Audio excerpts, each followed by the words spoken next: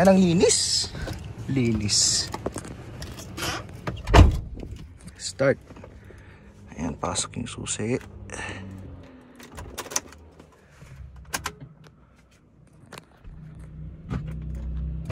Start.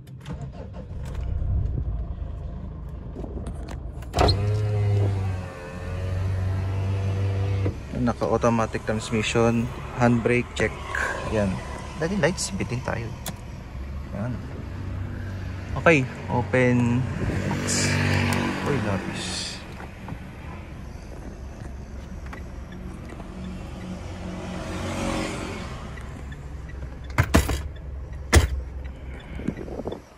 And let's do a rev up.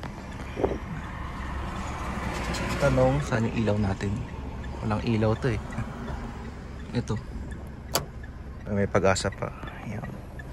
Ayan, so two pedals. Ayan. Tapos gas and hood. Ayan, gas to. Hindi, ito gas. Ayan. Ayan. Yung ano, yung on the clock natin, ilan na? Nasa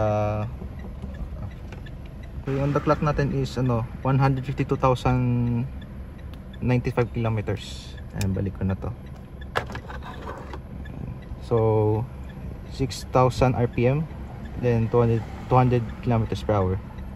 So, naka-ilahan brake and automatic transmission dito. Ayan. Ayan, huwag ko siya ipaabante.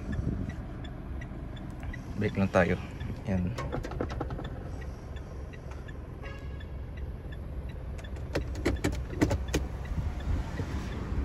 Ayan, tapos horns.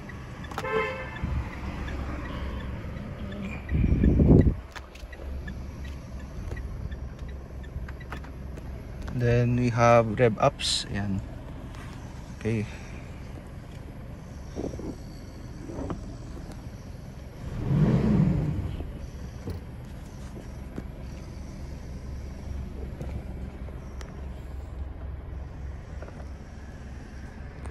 Then this is for the hood, yung sa left.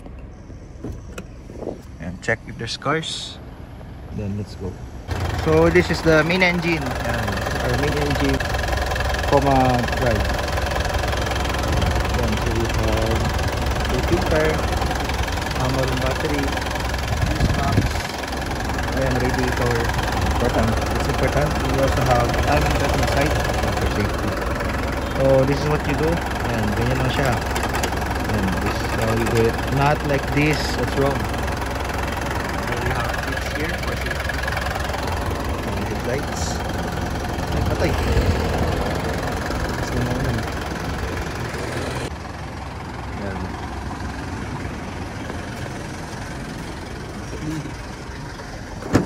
Okay, so fast review. Alright, so this is like the Nissan Navara from my friend. Okay, so say hi. Okay, so we have here our seats, uh, modified seats. Um, these have uh, consoles, handbrake, and So we have the LED lights uh, aftermarket. Then we also have these um, handles, then automatic window. Then we also have um, headrest.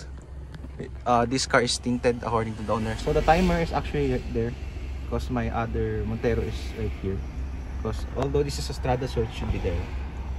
Okay so I will show you the the tailgate of the car uh, after this uh, second row.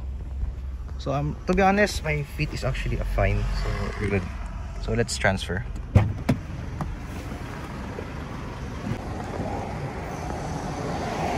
Yun.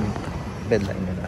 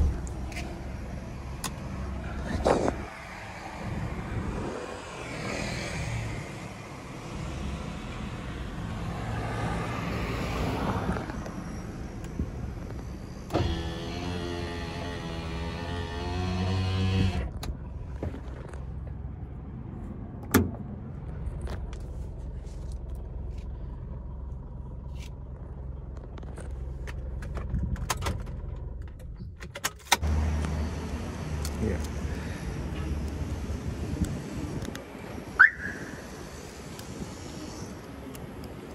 Okay.